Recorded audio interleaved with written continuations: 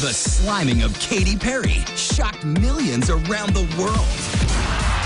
Over and over and over again. So we thought she'd never come back for more. We were wrong.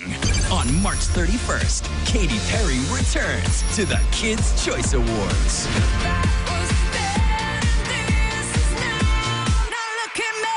And this time, she's performing live. Be here for the performance everyone will be talking about. Because when you've got to top this, you know it's gonna be good.